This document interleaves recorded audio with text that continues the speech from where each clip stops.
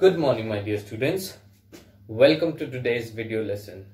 Students, I hope that all of you are fit and fine in your homes. And I hope you are taking care of yourself and you're also taking care of the environment. Dear students, while you are in your homes, it is my advice to you all to take some time out of your schedule and try to feed stray animals. Okay, the animals on roads who are the animals who are roaming on the roads try to feed them. There are many dogs cats i think you can find around your house and uh, try to feed them if it is possible for you. Okay it's a very noble act and i hope that many of you will take this advice and you will implement it. Okay?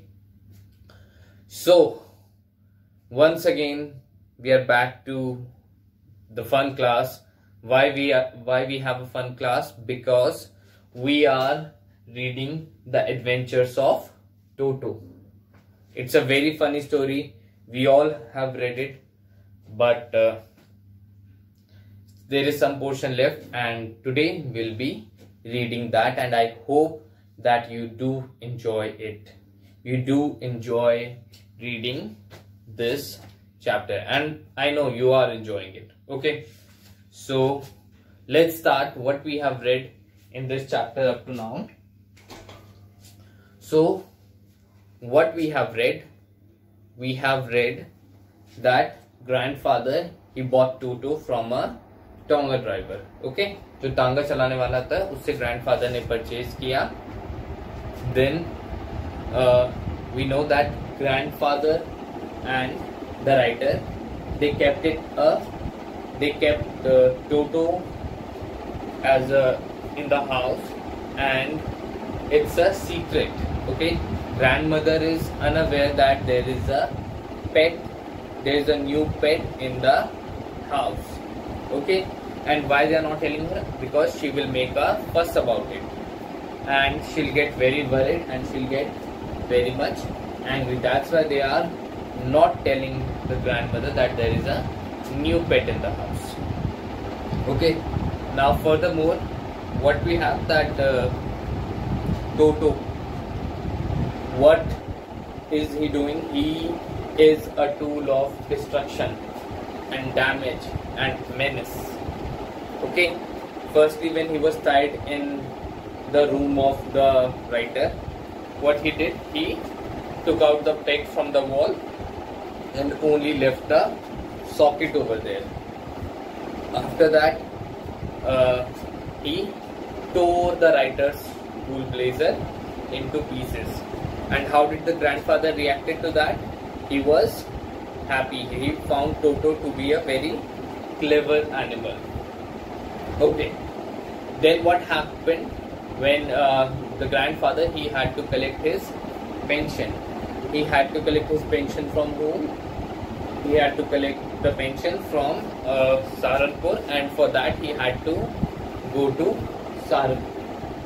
So when he was going to, uh, when he was uh, leaving the train station, he was asked to pay 3 rupees as fare for Toto because the ticket collector classified Toto as a dog and not as a monkey. Okay. So this happened, it was a very funny incident okay the story of toto is very funny so let's read and find out more when toto was finally accepted by grandmother he was given a comfortable home in the stable so Toto को ऐसा नहीं है कि पहली बारी में ही accept कर लिया ग्रैंड मदर ने it took her lot of it took her lot of convincing उसे कन्विंस किया गया then the grandmother she agreed that okay you can keep Toto as a pet.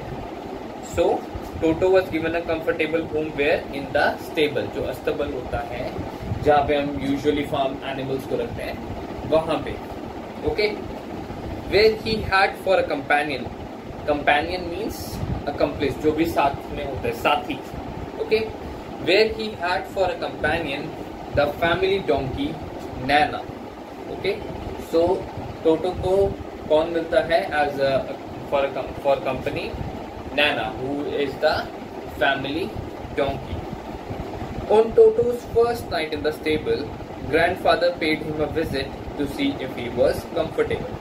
Now see again this point tells us how much he used to care for his pets, how much the grandfather he was an animal lover and he used to really take care of the pets. So, ऐसे नहीं कि उसके बस उसको नया home मिल गया तो उसकी रिस्पॉन्सिबिलिटी खत्म हो गई। नहीं। Grandfather what is he doing he is specially going into the stable to see whether Toto is comfortable और नॉट उस he is so much devoted to animal loving okay?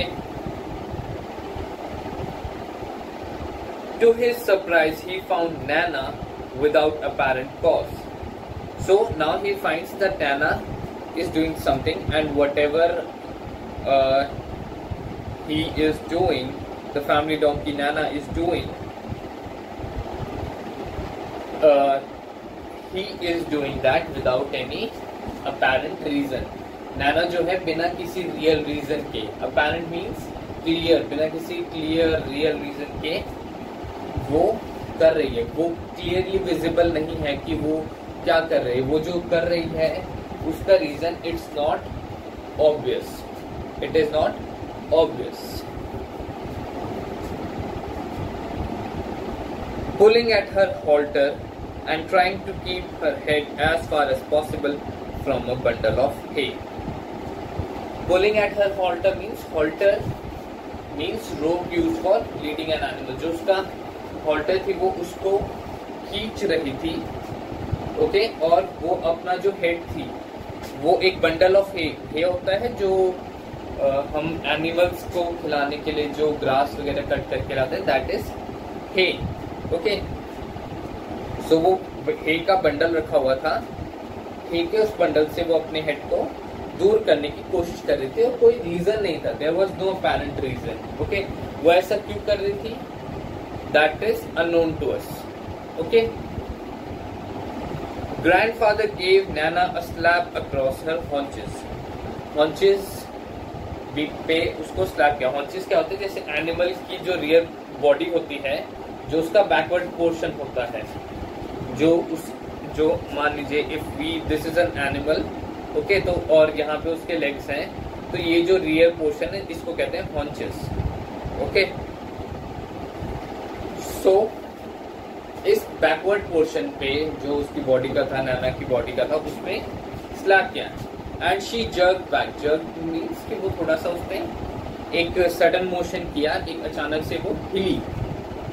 Dragging to to with her और उस जैसे वो हिली, वो चली, उसने टोटो को अपने साथ ही खींच लिया। ड्रैग करना मीन्स किसी चीज़ को सरफेस के साथ रगड़ के मूव करना, उसको खींचना। He had fastened on he had fastened onto her long ears with his sharp little teeth so उसने क्या किया था वो उसने टाई कर लिया था खुद को onto her long ears. Okay, so it's a female donkey. Nana is a female donkey. और किसके साथ अपने शार्प दांतों के साथ उसने अपने दांतों से उसके कानों को पकड़ लिया था बाँध सा दिया था एक तरह से Okay Toto and Naina never became friends so obviously अब वो उसको उसने खींच दिया तो इस वजह से they never became friends a great treat. Treat means a party, a celebration. Okay, a great treat for Toto during cold winter evenings was the large bowl of warm water given to him by grandmother for his bath.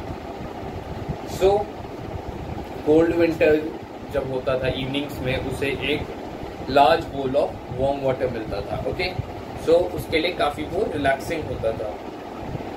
Given him by grandmother for his bath so उसको नहाने के लिए वो गर्म पानी मिलता था। He would cunningly test the temperature with his hand so cunningly means clever in a bad way okay because वो मॉन्की था वो थोड़ा कनिंग था उसको ये हमेशा ये होता था कि मुझ पर कोई भी मुझे किसी भी तरह का कोई भी लॉस ना हो ओके कोई भी डैमेज ना हो। सो so, वो सबसे पहले टेम्परेचर टेस्ट करता था with his hand then gradually gradually means step by step एकदम से नहीं time wise phase wise okay in a controlled and phased manner step into the bath जो वो नहाने के लिए पानी होता था, उसमें वो घुस जाता था। First one foot then the other as he had seen me doing so उसने कहा से सीखा? उसने राइटर को देख के सीखा। ही राइटर भी ऐसे ही नहाता था। Until he was into the water up to his neck तो जब तक वो वाटर का लेवल उसके नेक तक नहीं आ जाता था, तब तक वो घुसता था उसमें। Once comfortable he would take the soap in his hands or feet and rub himself all over. Now see how smart Toto is. We are saying that Toto was naughty, but he is also smart. He learned how to immerse himself in the water uh, uh, by watching the writer. And again, what has he learned? He has learned how to take bath with a soap. Okay, like humans rub themselves on their body with a soap. The monkey Toto is also doing the same. Toto भी खुद को humans के जैसे ही रब करके नहा रहा है. Okay. When the water became cold, he would get out and run as quickly as he could to the kitchen fire in order to dry himself. So जब पानी ठंडा हो जाता था जो पानी वो जो पानी उसके लिए था नहाने के लिए था जब वो पानी ठंडा हो जाता था at that time he use to run to the kitchen okay in front of the fire वो फायर जहाँ पे वो चल रही होती थी उसके सामने जाके खड़ा हो जाता था किचन फायर जैसे किचन में पहले फायर एक कॉन्स्टेंटली जलती रहती थी ओके सो so, वो वैसे किचन फायर के आगे जाके खड़ा हो जाता किस लिए? ताकि वो खुद को ड्राई कर सके okay so see he is behaving like humans he is not behaving like animals he is looking for for also he is doing doing ever he can to seek comfort and to seek relaxation If anyone laughed at him during his, this performance, Toto's feelings would be hurt. So again, he is behaving like a human. अगर कोई भी उसकी इस time पर हंस पड़ता उससे उसके ऊपर so his feelings would get hurt. Like अगर आप भी कुछ कर रहे you are doing a routine and someone laughs at you, you'll also get hurt. Okay, so the same thing was happening with Toto as well. Toto's feelings would be hurt and he would refuse to go on with his bath. So वो नहाने से मना कर देता refuse to go on with his bath means refuse to take bath refuse to continue his bath one day Toto nearly succeeded in boiling himself alive. Now see we are now we we, we are knowing about another incident where he was almost successful in boiling himself. Boiling means dena. He was about to boil himself alive. Okay? See the naughty toto he is now in a position where he can harm himself. So if any one of you is a naughty character please don't be a naughty character otherwise it may prove harmful only to you okay keep that in mind and take care of it A large kitchen kettle had been left on the fire to boil for tea.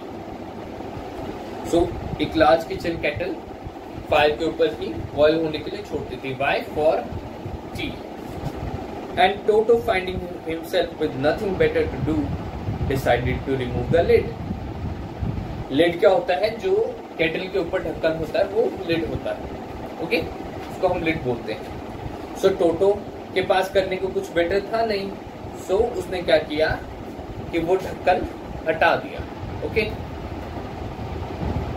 finding the water just warm enough for a bath he got in so उसे लगा कि भाई जो ये water है ये bath लेने के लिए ठीक है। तो वो उसमें घुस गया। With his head sticking out from the open kettle जो उसका सर है, वो केटल से बाहर निकल रहा था। ओके जो उसका सर था, वो केटल से बाहर निकल रहा था। This was just fine for a while until the water began to boil अब फायर के ऊपर केटल रखी हुई है तो नेचुरली सी बात है, वो बॉइल होगी। So it was kept on boiling and boiling and the water also began to boil Toto then raised himself a little, but finding it cold outside, sat down again. So Toto ने खुद को उठाया, but again just for comfort, उसे लगा कि it's cold outside, so why to go outside? It's better to remain inside. Sat down again. He con- he continued hopping up and down for some time. Hopping क्या होता है jump on one foot okay वो एक ही पैर पे ऐसे कूदता रहा okay slow very fast and very fast motion में okay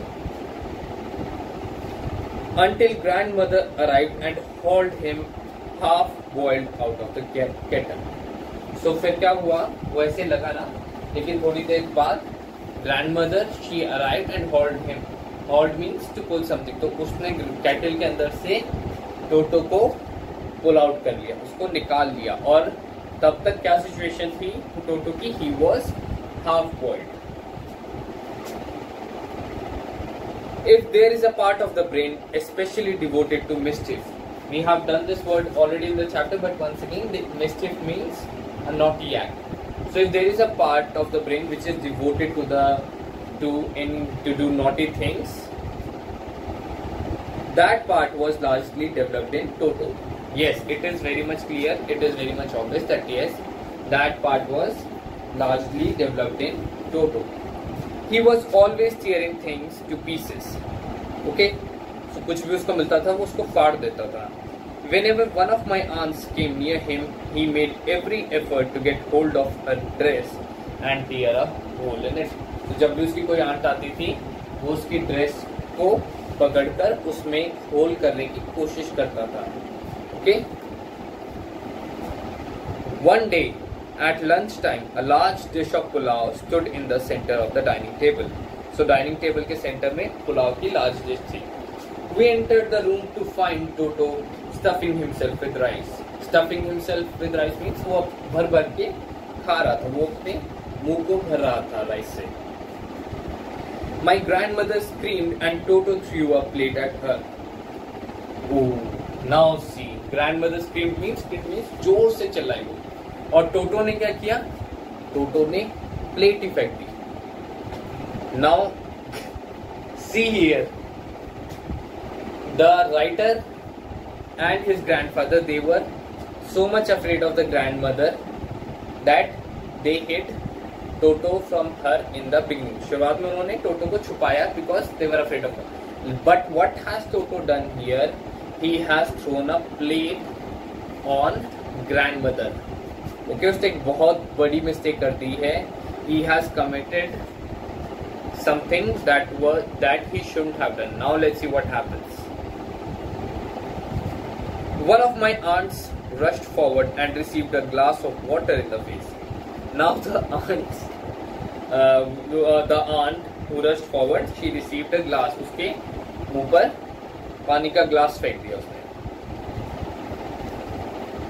When grandfather arrived, Toto picked up the dish of pulao and made his exit through a window. So grandfather के आने के बाद टोटो ने पुलाव की डिश उठाई और वो विंडो से बाहर निकल गया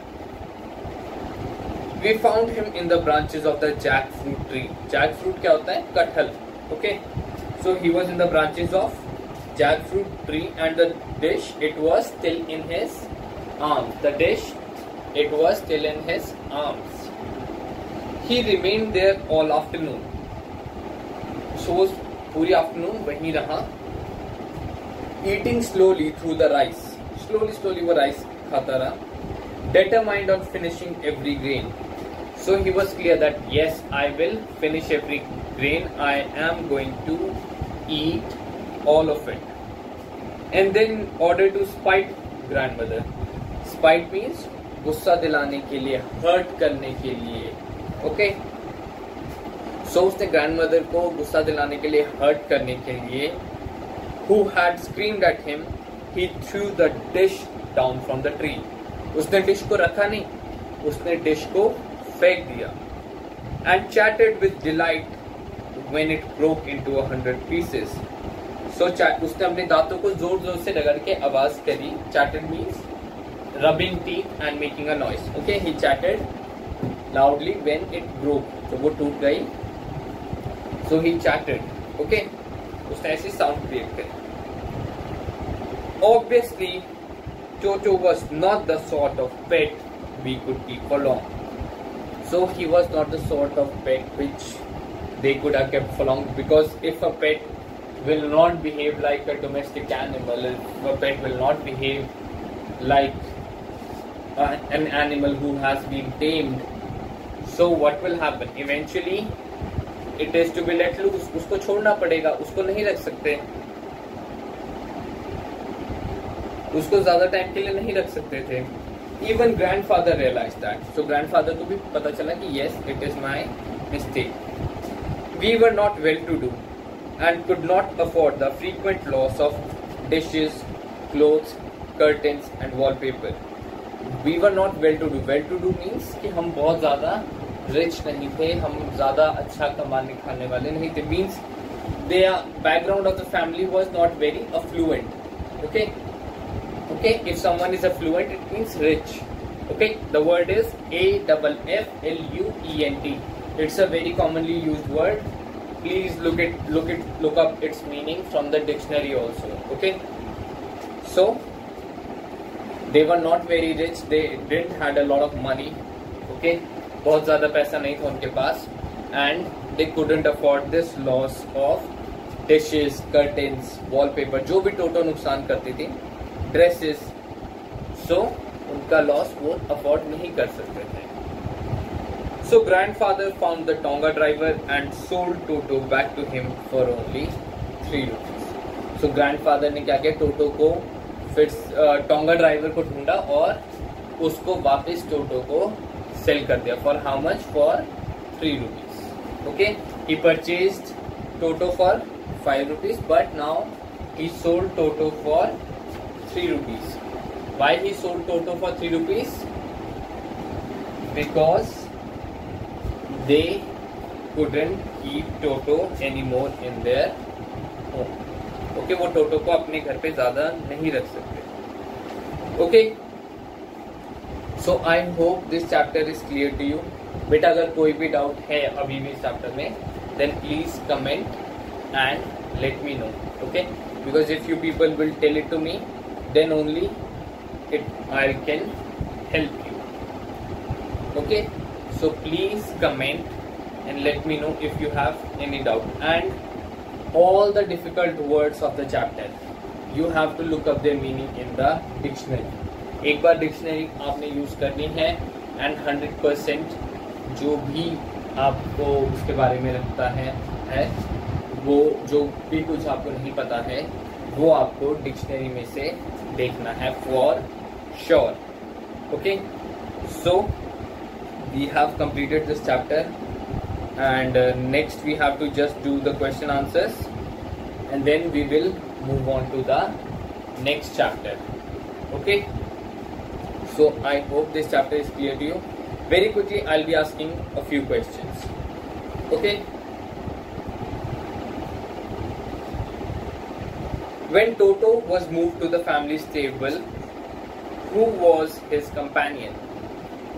जब टोटो को फैमिली स्टेबल में लेके गए who was his companion it was the family donkey Naina it was the family donkey Naina Toto never became friends with whom? Toto never became friends with whom?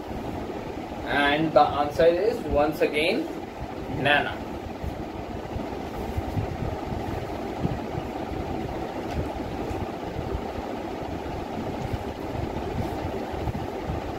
From whom did he learn how to take bath? From whom did Toto learn how to take a bath?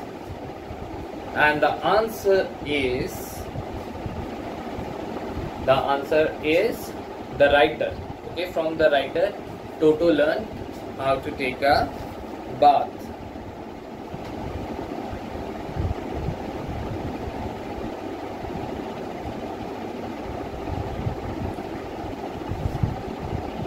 What did Toto do when grandmother screamed at him?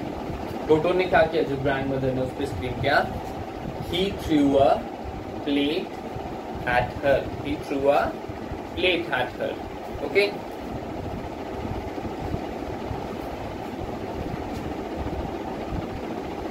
Why did uh, my last question is why did Toto why did Toto chatter with delight when he threw the dish down from the tree? Why did he chattered from delight when he threw the dish down from the tree?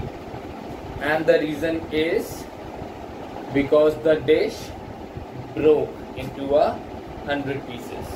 Okay, so these were the questions. If you were able to answer these questions, it's great. Otherwise, please make an effort to read the chapter once more. And students, if you have any doubts, then please contact me, comment in the video section, and please let me know. Okay? Thank you, dear students. That's your lesson for day for today. Goodbye and take care.